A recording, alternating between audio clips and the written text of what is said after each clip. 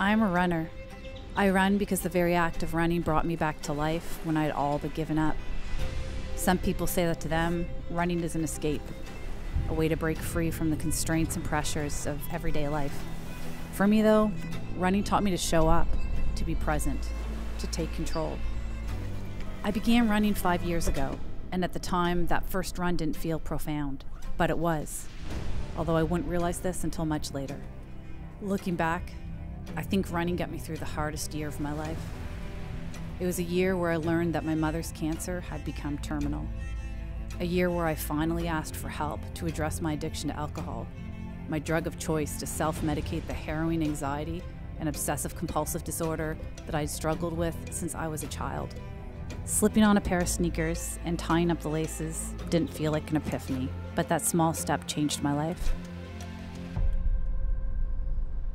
That same year, I set a goal to run the 2019 Blue Nose Half Marathon. The race ultimately took place a week and a half after mom died. I remember almost every moment of that run, heartbroken over the loss of my mother, who was also my best friend. I remember running through the streets of Halifax. Each kilometer I conquered represented the pain and struggles I've overcome, growing in my belief that I could indeed do hard things. The 2023 Blue Nose Marathon was a week before the anniversary of my mom's passing. I wanted to honor the beautiful journey we had together in her last year and celebrate how sobriety and running allowed me to be fully present in her final months. It wasn't about setting a personal best. It was about quietly giving thanks to my mom, to the running community, and to the Blue Nose Marathon organization.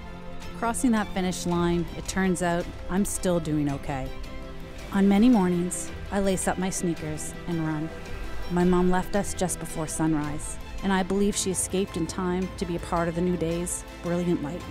So that's where I meet her now, in the sunrises that light up the sky. I am a runner.